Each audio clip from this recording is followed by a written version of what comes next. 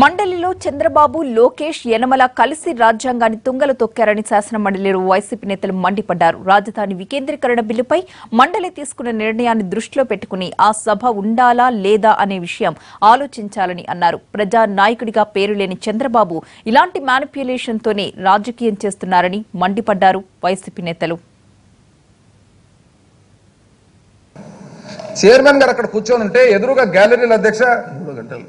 నాలుగు గంటల సేపు గ్యాలరీలో నాలుగు గంటల సేపు అధ్యక్ష leader of opposition Chandrababu Naidu గారు వచ్చి కూర్చుంటారు అధ్యక్ష. అంటే వాట్ ఈస్ ద ఇంటెన్షన్ అధ్యక్ష?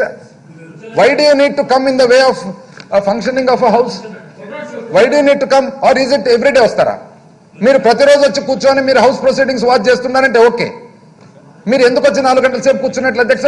కూర్చుండే పొజిషన్ కూడా అధ్యక్ష ఎగ్జాక్ట్లీ ఆపోజిట్ ఎగ్జాక్ట్లీ ఆపోజిట్ అంటే is it not to influence the chairman అధ్యక్ష సి వి ఆల్ నో అధ్యక్ష అందరికి తెలుసు. Chairman all all come from different political parties but the minute somebody sits in the chair they become neutral and any attempt to influence the chair also is wrong అధ్యక్ష నిజం చెప్పాలంటే చంద్రబాబు నాయుడు గారు వచ్చి కూర్చొని ఆ చైర్ను ఇన్ఫ్లుయెన్స్ చేయాలనే తప్పు చైర్లో ఉండే తప్పు కంటే కూడా ఆ తప్పు ఇంకా పెద్ద తప్పు అని చెప్పి నేను ఈరోజు తెలియపరుస్తా ఉండే అధ్యక్ష.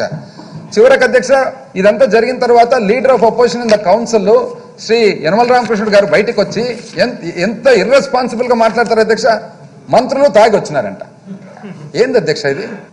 పైన తండ్రి కింద లోకేష్ తనయుడు. వీళ్ళిద్దరికి ఎన్టీ రామారావుని కూలదీసినప్పుడు నుంచి కుడి భుజంగా పనిచేస్తున్న యనమల రామకృష్ణుడు గారు. అసలు మొత్తం వ్యవస్థని భ్రష్టు పట్టించే కార్యక్రమంలో వీళ్ళందరూ భాగస్వాములుగా మారి నిన్న చేసిన డ్రామా ఖచ్చితంగా సార్.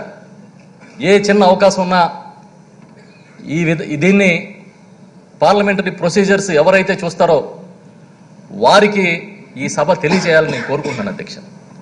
ఇంత దారుణమైన కుట్ర కుతంత్రాలకి సభలో వేదిక కాకూడదు భవిష్యత్తులో అంటే పార్లమెంటరీ ప్రొసీజర్స్లోనే చేంజెస్ తీసుకురావాల్సిన అవకాశం ఉందనేది ఈ సభ రికమెండ్ చేయాలని చెప్పి అక్కడికి తెలియజేయాలని చెప్పి మీ ద్వారా వేడుకుంటాను అధ్యక్ష. యనమ యనమల రామకృష్ణ గారి పేరెత్తితే ఎన్టీఆర్ఆర్ వెన్నుపోటే కదా అధ్యక్ష గుర్తొచ్చేది? చంద్రబాబు నాయుడు ఆ రోజు ఇటువంటి వ్యక్తులు ఎందుకు పెట్టుకున్నాడు అధ్యక్ష? వెన్నుపోటు పోస్తాడు ఎట్ట కావాలంటే అట్ట మార్చుకుంటారు బుక్కులు. మనకి ఎట్ట కావాలంటే అట్ట చేసుకుంటారని పెట్టుకున్నారు అధ్యక్ష. అటువంటి నీచాతి నీచులను ఈ రోజు సభలో పెట్టుకుని ఆయన నిన్న ప్రజాస్వామ్యానికి వెన్నుపోటు పొడిచాడు అధ్యక్ష అధ్యక్ష. రాజ్యాంగంలో ఉన్నటువంటి అంబేద్కర్ గారు రాసినటువంటి రాజ్యాంగానికి వెన్నుపోటు పొడిచాడు అధ్యక్ష. ఒక కౌన్సిల్ ఇన్నిసార్లు మూసినప్పుడు ఎలాంటి పరిస్థితులు ఉత్పన్నమైనాయి? ఇప్పుడు మళ్ళీ తెరిచేటప్పుడు ఎలా ఉండేది? ఏంటన్నది మనం డిస్కస్ చేద్దాం. ఎవరు వచ్చేస్తున్నారు అధ్యక్ష?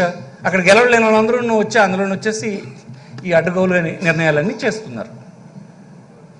చాలా ఇబ్బందికరంగానే ఉంది ఇది ఇది డిస్కస్ చేయాలి ఇదేమో చిన్న విషయం ఏం కాదు. మూడు బిల్స్ వ్యతిరేకించినారు.